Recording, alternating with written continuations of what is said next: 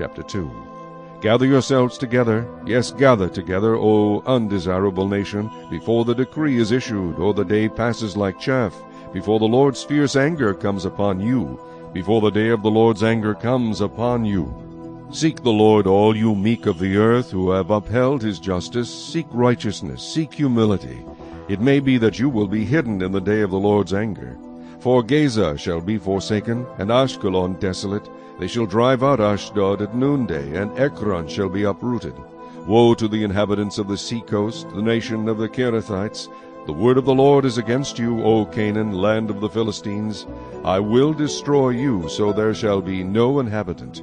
The seacoast shall be pastures, with shelters for shepherds and folds for flocks.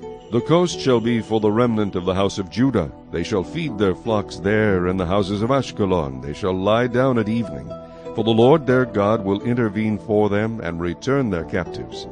I have heard the reproach of Moab and the insults of the people of Ammon, with which they have reproached my people and made arrogant threats against their borders. Therefore, as I live, says the Lord of hosts, the God of Israel, surely Moab shall be like Sodom, and the people of Ammon like Gomorrah, overrun with weeds and salt pits, and a perpetual desolation. The residue of my people shall plunder them, and the remnant of my people shall possess them. This they shall have for their pride, because they have reproached and made arrogant threats against the people of the Lord of hosts. The Lord will be awesome to them, for he will reduce to nothing all the gods of the earth. People shall worship him, each one from his place, indeed all the shores of the nations. You Ethiopians also, you shall be slain by my sword.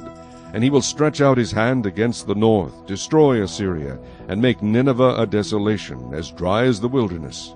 The herd shall lie down in her midst, every beast of the nation, both the pelican and the bittern shall lodge on the capitals of her pillars.